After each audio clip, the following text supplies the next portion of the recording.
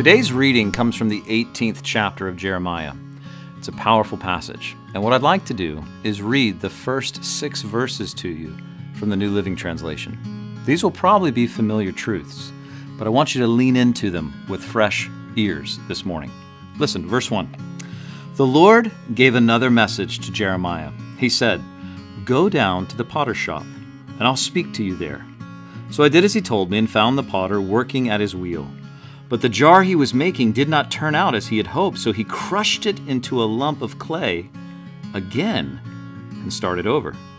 Then the Lord gave me this message O Israel, can I not do to you as the potter has done to his clay? As the clay is in the potter's hand, so you are in my hand. You know, I once heard someone say, God works behind the scenes.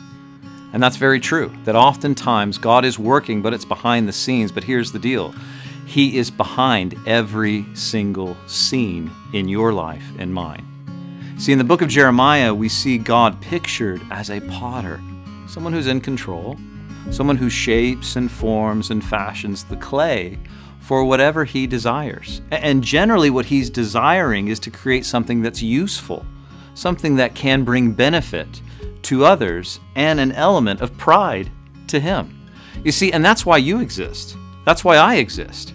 You and I exist for the glory of God and for the good of others. I once heard someone say, two of the most important days in a person's life are the days that they're born and the day that they find out why.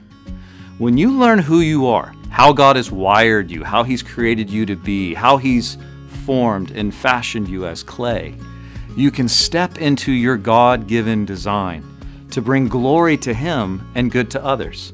So here's the thing I want to share with you you are not an accident. God has purpose for you, He has a plan for you.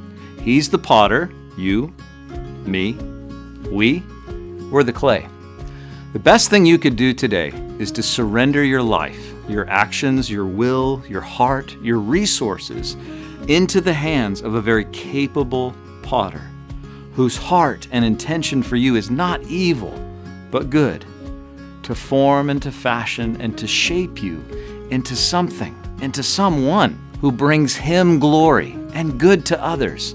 And that spot in your life, that's the sweet spot where you're living and walking in your design. So today, trust that the potter's in control and yield your life afresh into His very capable hands.